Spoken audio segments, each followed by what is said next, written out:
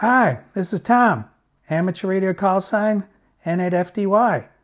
And today it's time for another meter review. We're doing the Klein MM720.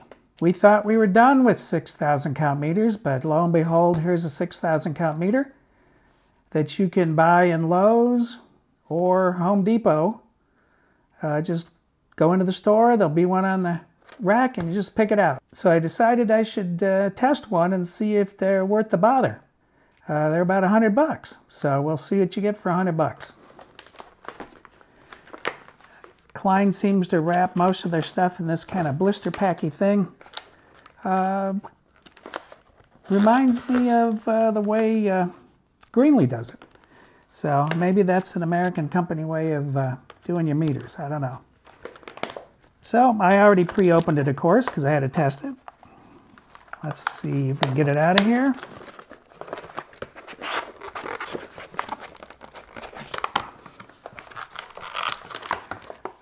There, it's free, free at last.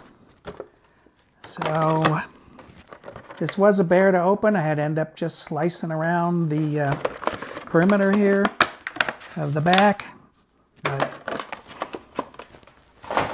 Comes with a handy little carrying case.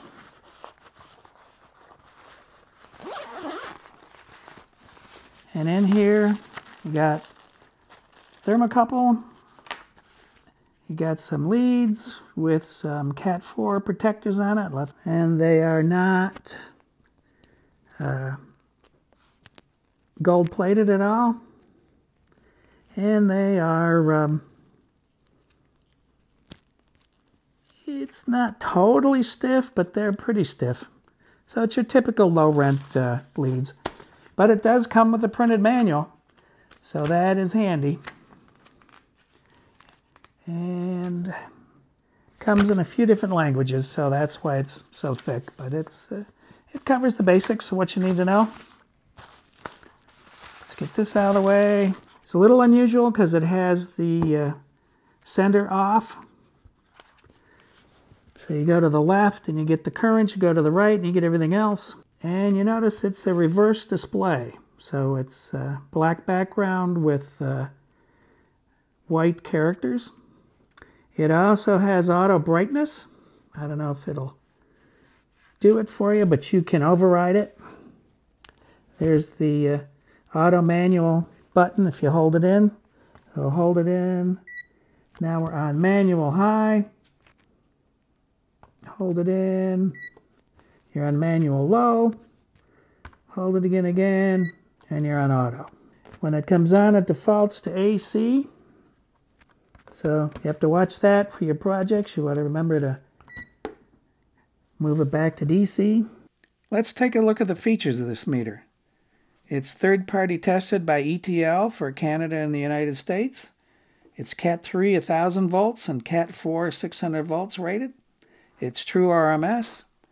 It has a 0.5% plus 5 basic DC accuracy. Its display has white numbers and symbols on a black background. It has min and max function, has a hold function, has a relative delta function. It has low impedance mode for getting rid of ghost voltages. It's built to withstand a 2 meter drop and it's IP42 rated for ingress protection. It includes a thermocouple and comes with two AAA batteries, and it has a two year warranty. Now, first, we'll start out with uh, there's a written review. The link is in the description of the video, and that will uh, have lots of detail.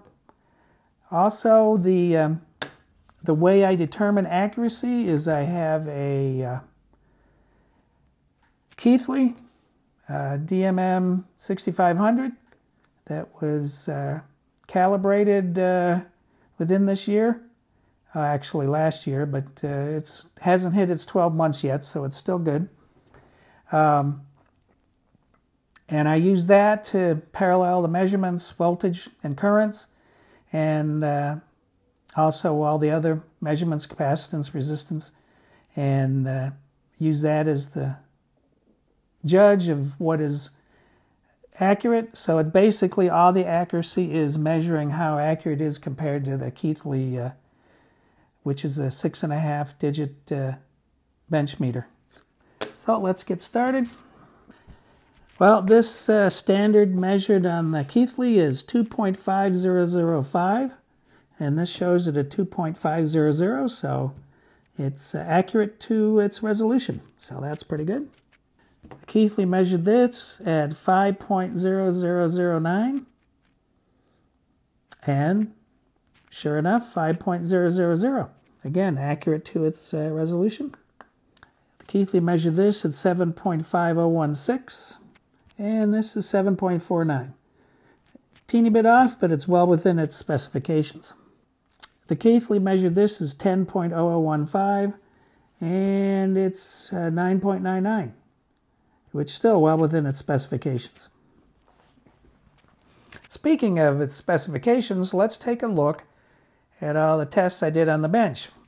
The uh, DC volts and DC millivolts all met the accuracy specifications as stated in the manual.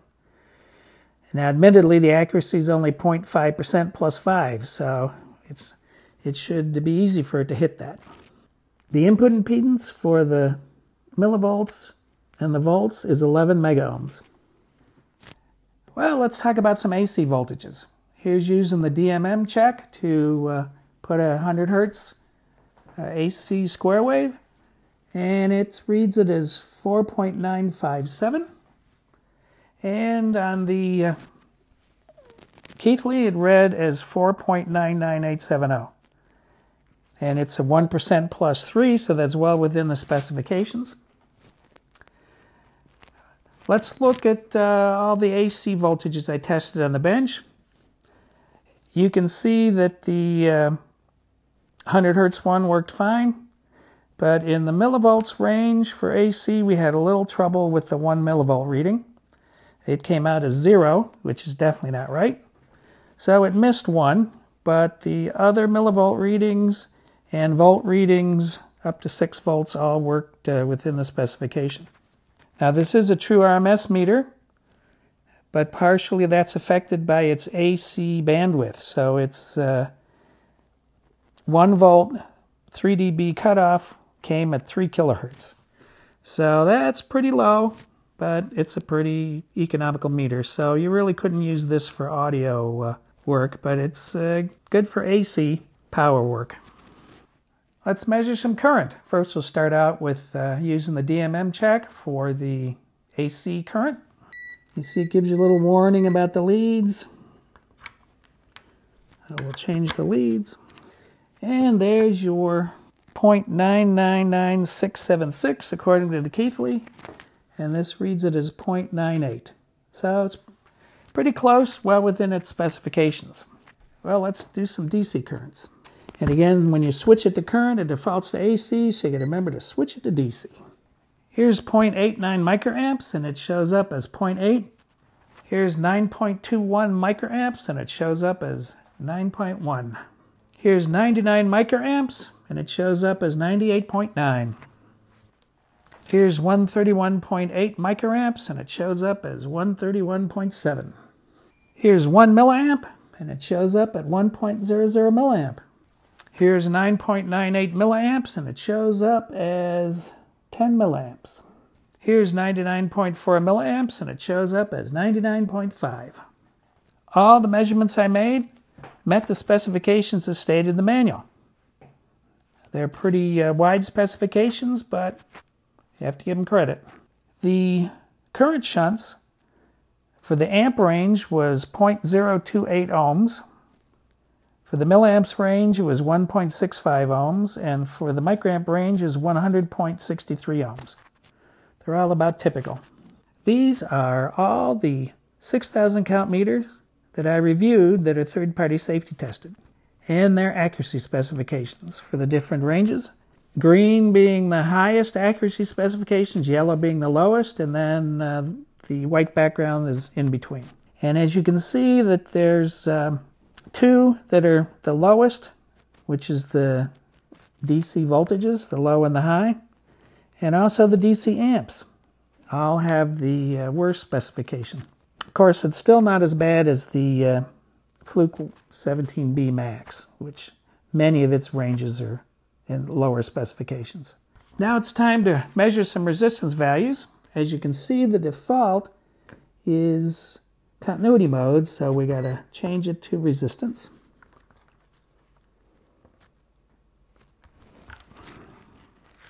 Let's zero the leads.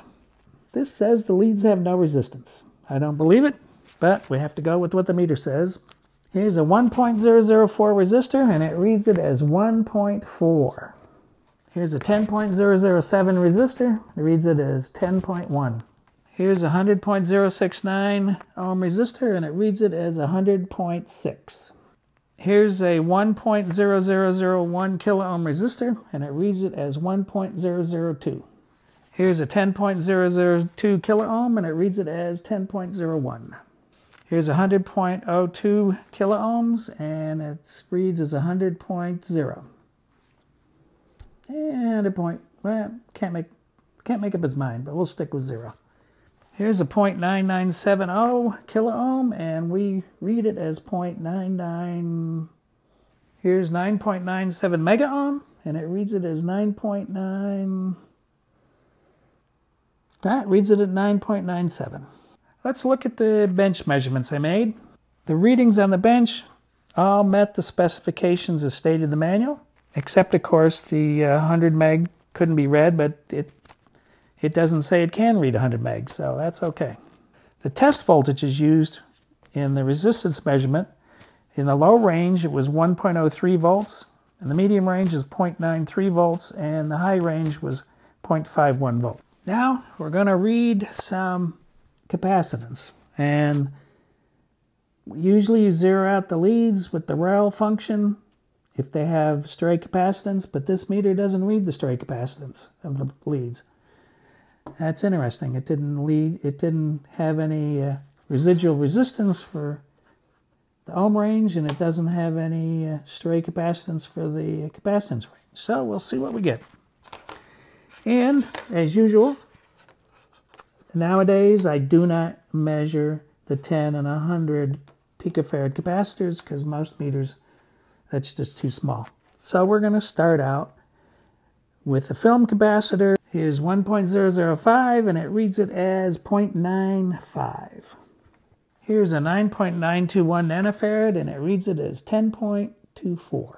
Here's a 99.51 nanofarad and it reads it as 100.3. Here's a 1.009 microfarad capacitor and it reads it as uh, 1.000. Here's a 10.294 microfarad capacitor and it reads it as 10.96. Here's 112.2 microfarads and it reads it as 113.5. Here's a 944 microfarad capacitor, and it reads it as uh, 1043 microfarads. Well, let's take a look at the uh, bench results of this. Well, as you can see by these values, they it met the specifications as stated in the manual. Of course, it is interesting that I'm getting uh, quite different readings than I got here, but that's okay. It still was in the specifications. It is time to do some diodes. Of course, our favorite diodes are LEDs. So let's get started. Well, as you can see, it reads the forward voltage and it lights the diode, but no beeps. Well, the yellow one, it reads the forward voltage, lights the diode, but no beep. The green one reads the forward voltage, it lights it, but it's a little dim, no beeps. Schottky diode reads the forward voltage, no beep. Small signal diode reads the forward voltage, no beep. Rectifier diode reads the forward voltage, no beep. There we have it for the diodes. Let's see what the test voltage was. Well, it uses 3.24 volts and has a maximum current of 0.97 milliamps. So, not too bad for the diodes. Those will work for the LEDs. Let's compare the accuracy specifications for resistance and capacitance for this group of meters. Well, as you can see, this meter did not fare very well in the capacitance and resistance. In almost all of the ranges, it is the worst specification of this group of meters. But for uh, $99, I guess that's you can't ask for much more. But if you notice, the uh, UNI-T, which is $10 cheaper, has better specifications in almost all the areas except for one. And uh, if you moved up to the Brymen EV blog uh, BM235, you could definitely get a superior meter. Uh, and of course, um, uh, if you went with the Fluke 17B Max, you would not be getting much better of a meter. So uh, I would skip that one. So anyway, it's interesting to see where it falls. Well, it's continuity check time. And what do we do? When it's time for continuity check, we bring out the probe masters.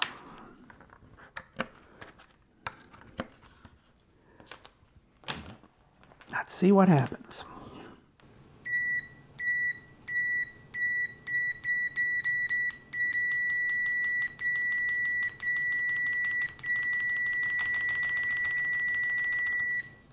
Well, it's not very fast. So, I'd say uh, if you're a continuity aficionado, you would not go with this.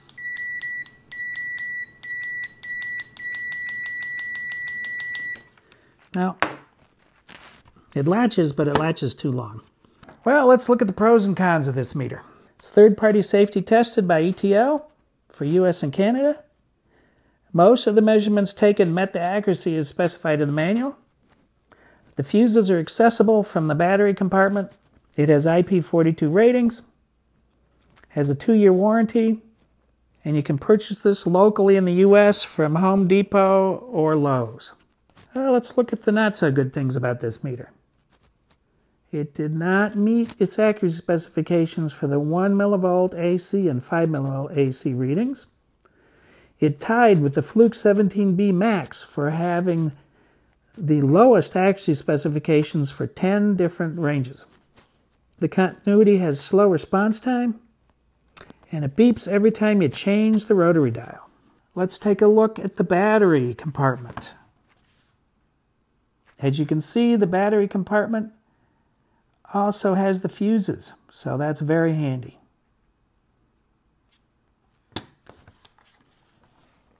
Well, who is this meter for? This meter's for somebody who needs a meter right now and wants to go up to Home Depot or Lowe's and buy one. If you want a meter in this $100 class, I would say uh, if you could wait a couple of days, order one on Amazon. You can get the UNI-T uh, 161D. It's a little more better accuracy specifications and uh, also you could spend a little bit more and get the EEVblog uh, BM235, uh, which is uh, definitely a better meter accuracy wise. So uh, I definitely think about those. But if you need a meter that you want to go pick up today and use today, I guess this would be the one.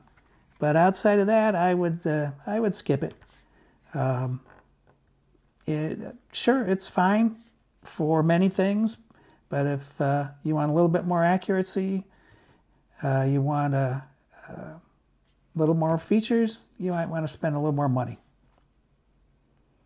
So, hope that helps. This is Tom, N8FDY, saying 73, and take it easy.